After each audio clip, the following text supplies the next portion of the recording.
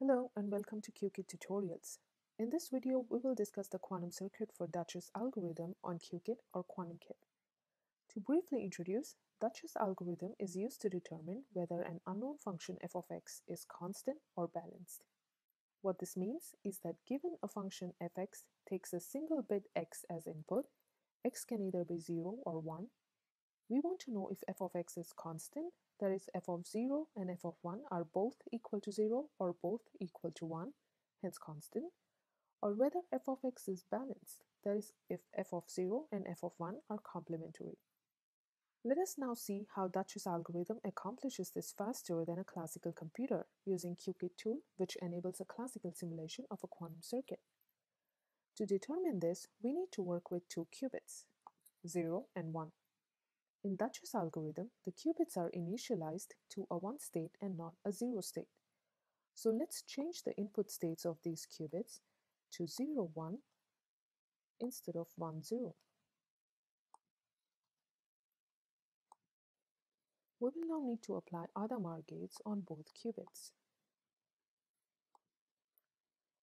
And this brings our quantum state in a superposition of all possible 2-qubit states, 0, 0, 0, 1, 1, 0, and 1, 1. We can check it to be certain. And that's correct. The amplitudes of the states are all the same, but there is a phase difference between them. We now need to apply a reversible unitary operation corresponding to f of x, which we call uf. It is not straightforward to construct the circuits for UF, and we have therefore provided UF gates corresponding to some well-known quantum algorithms in the list of quantum gates here. Let's find the UF corresponding to Deutsch's algorithm. We need to input the function f of x we want to use. Note that to the circuit this will just be a black box. Let's say we want to feed f of x equal to 1, which is a constant function. So we will choose option 2 here and OK. And we input both qubits to the UF gate. Remember that the unitary operation UF has this property that if you input x and y, the states you get out will be x and y XOR with fx. Let's look at the quantum state now.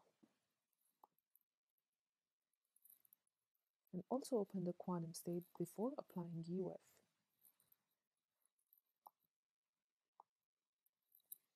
And we see what UF did to the state. Looks like the phases haven't changed, hasn't changed much except for adding a global phase. Now we apply an mark to our input qubit x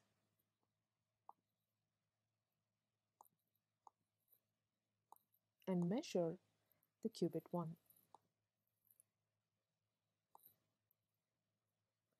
Since the UF hasn't really changed the quantum state much, when we measure qubit 1, we would expect to see the output state of the qubit 0 to be the same as the input, is state 1 here. Let's run the simulation.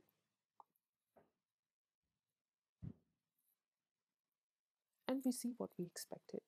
So we measured the state 1 on qubit 0 for a constant f of x. In this case, f of x equal to 1. Let's now see how a balanced function changes the quantum states. We could make this circuit all over again, but I'm going to just go ahead and delete this UF here and choose a new UF from the list of quantum gates. This time let's choose f of x equal to 4, which is a balanced function with f of x equal to naught of x. So f of 0 is 1 and f of 1 is 0. So 4 and OK. And let's add these two qubits at this stage to this UF and simulate. Okay, so we started with this state in superposition, similar to the previous case, obviously. But the state after UF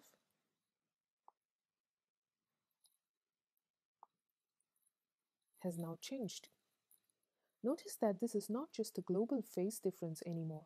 The quantum state has different superposition of the basis states. Let's now see how this is going to affect our measurement.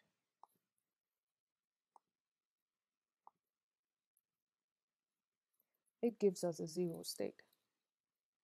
So a balanced function f of x gave us a zero state on qubit 0 when we measured qubit 1, while a constant f of x gave us a 1 state here.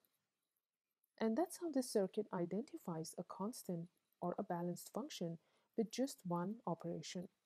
Remember that a classical algorithm will have to evaluate two expressions f of 0 and f of 1 to determine whether f of x is constant or balanced. Feel free to make your own circuit for the Deutsch's algorithm using QKit. The link is included in the description below. We would love to hear from you about your experience with, with QKit. Hope you found this video useful. Have a good day.